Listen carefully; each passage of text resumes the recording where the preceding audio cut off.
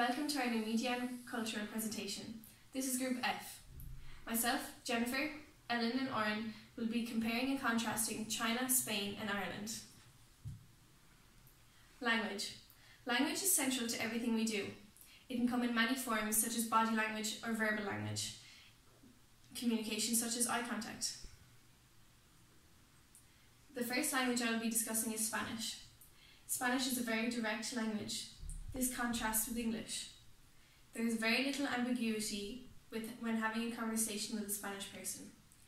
They will get straight to the point and ask exactly what they want to know. The Spanish language is also spoken at a very fast pace with high intensity. With very little room for sarcasm, it is deemed very rude in Spanish language to use sarcasm as they don't understand it and don't use it in, in the language. Okay, go. For example, when in a caf- cafe asking for a cup of coffee, we would usually say in English, Could I have a coffee, please? Whereas in Spain, it's more of a demand. They say, Cafe, por favor. This directly translates to coffee, please. This is different in our culture because if you just demanded a coffee, the barista would look at you and think you're very rude.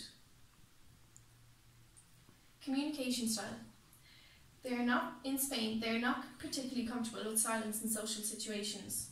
Spain is a low context culture because when they're communicating, they get straight to the point and have no problem expressing their feelings.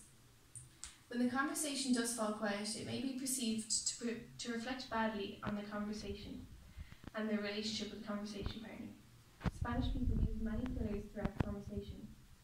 Spanish people frequently use hand gestures when speaking and are very expressive. Eye contact is also very impor- important in Spanish language as it shows how enthusiastic you are when communicating with the other person. Bilbao. Bilbao is a city in the north of Spain in the Basque country. Basque is spoken here. It is a minority language similar to Irish. In Bilbao, they are very proud of their language. It has similar importance, importance in society. You must be able to speak Basque fluently at a very high level in order to become a police officer. This is similar to the previous law in Ireland that was. This is very similar to the law that was enforced in Ireland in previous years but has now been lifted due to diversity. Cantonese. Cantonese is a high context culture. Speech is ambiguous, with understatements often made. The purpose of this is to maintain harmony throughout the conversation and to pre- prevent a loss of face in the exchange. Pausing before giving a response is often deemed as polite. This shows that you have given thought to your response. In China, in China, Hong Kong natives tend to stand very close together when communicating. This is different in Spain and Ireland, as they stand further away from each other when speaking, and would be very uncomfortable if someone spoke very closely to you. Winking is also considered very rude in Hong Kong, whereas in Ireland or Spain it is considered flirty, playful, or fun. Culture. Culture. Culture is the ideas, customs, and social behaviour of a particular society or people. The Hong Kong population is mostly made up of those who are Cantonese. However, Shanghainese, British, and Indian also make up a significant part of the population which people seem to be unaware of. Many Chinese concepts like family solidarity, family glory, saving the face, and modesty also carry significant weight in Chinese culture, especially in Hong Kong. They take representing their family name with great pride, and everything they do will therefore affect their family's name.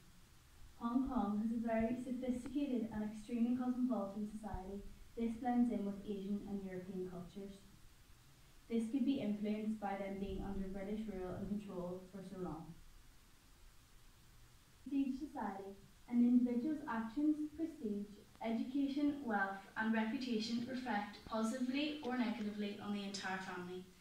Any action that may discredit or tarnish the family name may lead to a person being shunned by their immediate family. Bilbao. Bilbao can be described as the cultural epicentre as there is a clear mixture of not only Spanish but Basque culture too.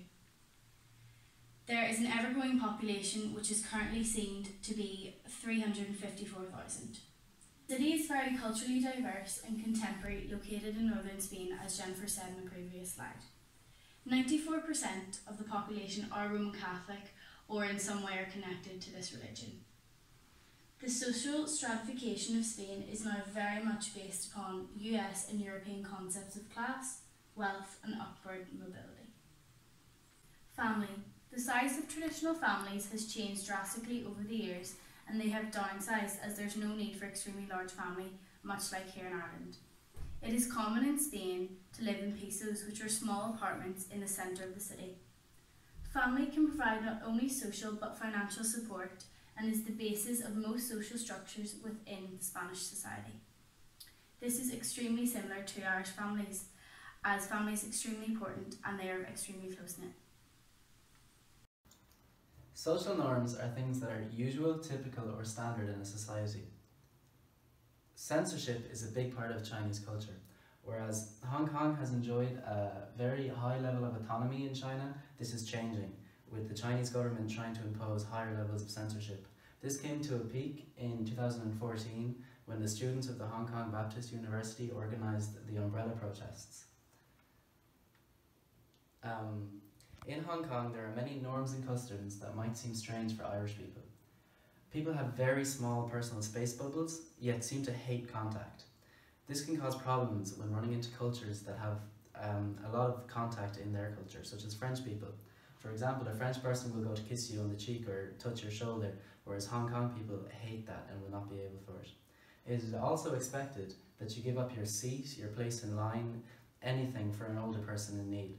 Older people have the utmost respect in Hong Kong and are, and Hong Kong Older people have the utmost respect in Hong Kong, and the culture practices seniority. All food in Hong Kong is shared. For example, when you go into a restaurant with three people, you'd only buy two meals. This is because the food will come in very, very different bowls of different shapes and sizes, and these are all designed for sharing. Once again, older people are always respected. If you go to have a meal in a house in Hong Kong, and it is time to fill up the tea, you will always fill up the older person's tea first before filling your own. This is because it is seemed respectful for the older people and also it is rude to serve yourself first. There are many things you should do when visiting Hong Kong though. You should take lots of photos. The people in Hong Kong love photos. They take photos everywhere they go, so they expect you to take photos when you are there also. They also love if you ask them questions. They are all fluent in English, they love speaking it, so they will jump at the opportunity to speak English back to you. They have some amazing teas in Hong Kong, hibiscus, Darjeeling, so many chais. They are very proud of their teas and they are very proud of their culture and to share it with you. Things you shouldn't do when you're in Hong Kong, never ever place your chopsticks down vertically in your bowl. This means that you have just lost somebody close to you or you're attending a funeral. Never try to get a taxi at rush hour. It is impossible. During the hours of 3 to 4, the whole city becomes gridlocked on both sides. So you should plan your days around this. Never try speaking Mandarin. Mandarin isn't well spoken in Hong Kong. Most people speak it, but it is like a second language to them. So uh, usually speaking English is better off because you will know it better and so will your people. Don't speak in broken English though, because this is insulting.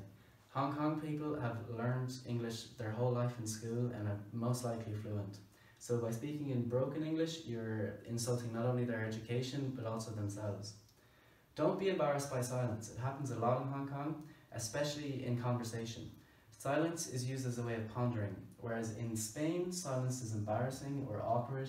In Hong Kong, it's nothing to be ashamed of. Never ever try to kiss a Hong person's cheek. This is seen as rude and very forward and they totally not know how to react to such a situation. To conclude, I will talk about norms and customs in Bilbao. Food is everything in the Basque land. Wine is drank with everything and people drink it everywhere. Shellfish is, is huge with baked spider crab as a with baked spider crab as a must try. Pinchos are common and you can buy up to 20 plates at a time. Chorizo, calamari, olives, anything you want. It is for every tourist, they should buy pinchos at least once. You can drink wine anywhere you go in the Basque Land. You can drink wine on the train, you can drink wine in the park. It is completely socially accepted. Whereas in a country such as America or Ireland, it would be it would be unheard of to drink um, alcohol outside in the street. This can be a shock when you first get there, but you'll soon get used to it. Basque culture is very strong, and the people of Bilbao are so proud of their heritage. There are many songs, festivals, sports, everything. They, are, they have huge national pride, and every year they have festivals such as the Oncarri festivals, where they have dances in the street. Be sure to enjoy the festivities, but treat them with respect, because Basque people have lived for a very long time, keeping their culture distant from the rest of Europe. We learnt a lot on our project. We learnt about Hong Kong culture, we learnt about the Basque land. We hope you learnt as well. It was very interesting to, to learn about two such different cultures, but also see things that are common in both of them. I would love to visit both of these countries. They, they are so interesting and it was enjoyable doing this project.